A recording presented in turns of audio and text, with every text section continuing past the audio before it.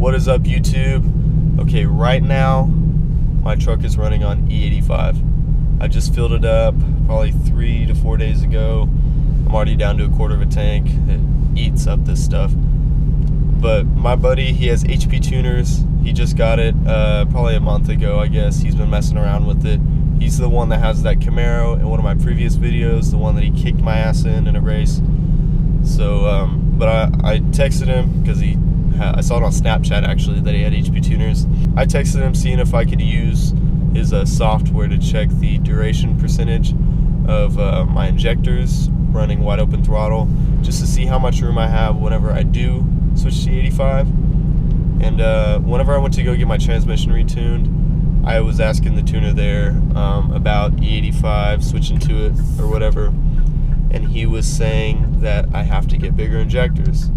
But it just seems logical because 85 uses 30 to 40% more fuel than just regular gasoline. So I, I, I believed him for a little bit, but I was always a little skeptical because I know when I was looking at uh, superchargers like a ProCharger and the E-Force by Edelbrock, uh, they said if my truck had.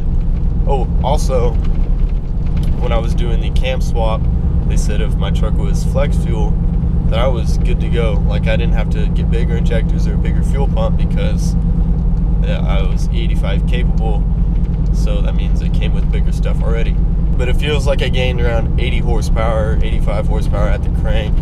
So it's possibly running around 400. So I would think that just that much gain, I should be in the clear for 85. But he said no.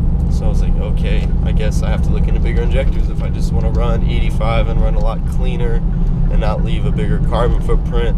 So I messaged my buddy to see if I could use his uh, HP tuning software just to check the duration of my injectors.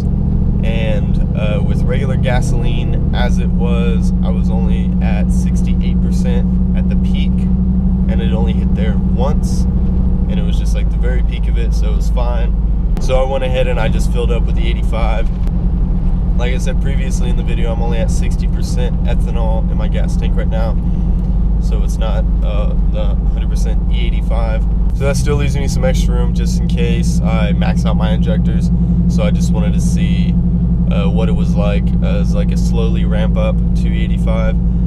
So we went again and uh, I did a pull. Uh, we looked at all the parameters saw that I was at 88% and that was the maximum um, duration. So that's okay. Usually, typically, it's like 90% below safe.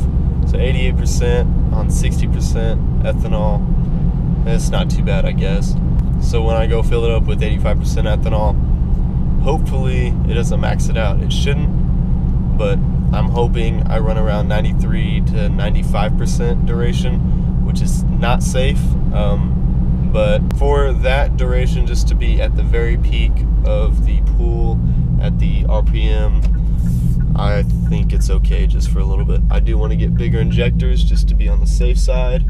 But as far as daily driving ethanol, I think I'm I think I'm okay because I don't dog it all the time. I know sometimes I floor it here and there uh, to get into traffic, get on the on ramp, whatever, or just to mess around. But as far as just cruising, it's not gonna max out. I'll be fine with that. But why did I switch to the 85? Uh, I guess I just wanted the truck to run cleaner. Uh, I also wanted to see if I could save some money off of it.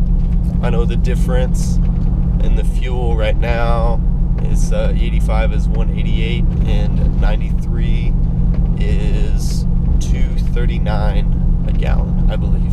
So if I stay around the 20 to 25 percent average uh, mileage lost, which is average because it differs uh, between the vehicles, then I should be in the safe zone as far as saving money or spending the exact same on either fuels.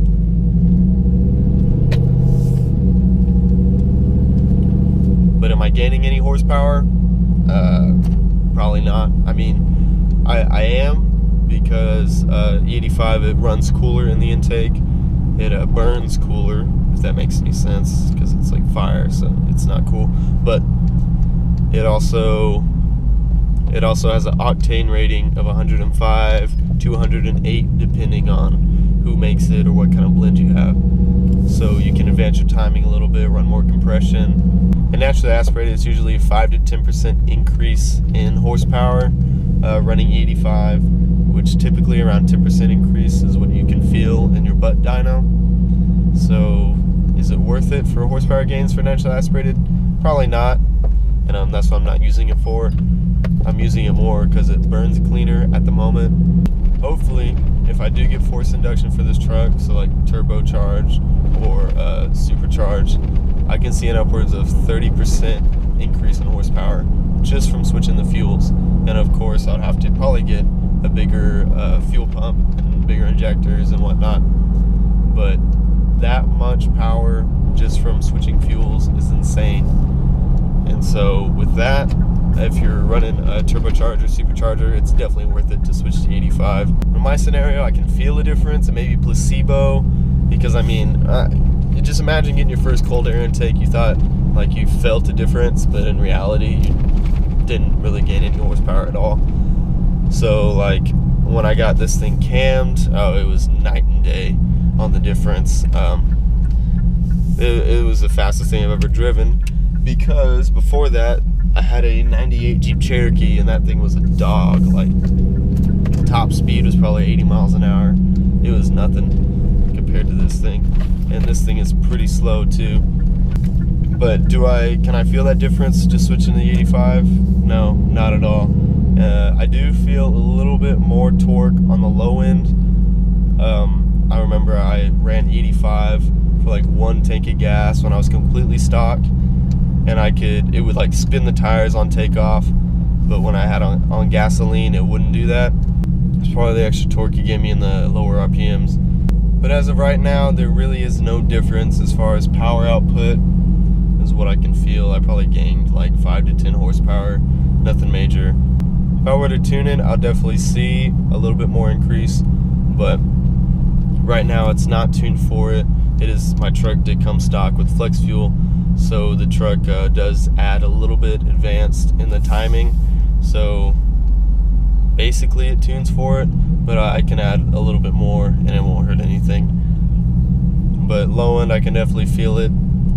It's nothing major like don't don't get me wrong like it's minute differences.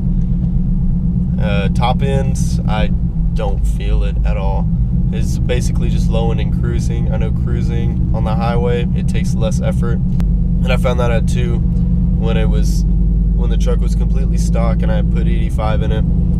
That uh, I still had the uh, the displacement on demand, and so when I was cruising and with regular gasoline, it would switch on and off, switch on and off, like four cylinder to eight cylinder, four to eight but with 85, I noticed that it had enough power uh, just in cruising RPMs to keep it in four cylinder mode for a while. Like I could just cruise right now and it would just be four cylinder mode, which is cool because theoretically I'll be getting better gas mileage. But anytime I went to eight cylinders, uh, it, it just went down. So I, I ended up losing gas mileage, of course. But I, I thought it was cool to actually see the difference of power just because it was able to keep the truck cruising with the four cylinders on. But I think that sums up my rambling. I probably left out quite a few things. If you have any questions, leave it in the comments. My videos are not scripted, so I just talk, like I said in my last video. So if I left anything out, just let me know. If you want to know anything, let me know. So the comment sections are for. If you like E85, give it a thumbs up. If you think it's some total BS, well then I guess give it a thumbs down because it still does me good if you give me a thumbs down. So it's whatever. But thanks for watching the video. Up next, I'm going to be doing a video about how I install my light bar behind my grill. If you want me to do that one promptly, then comment in the section below that you want me to do a video like now basically uh, but that's the next video after that Uh, I'll probably do a walkthrough on the truck. Nothing major. So just stay tuned for that and don't forget to subscribe. And I'll see y'all next video.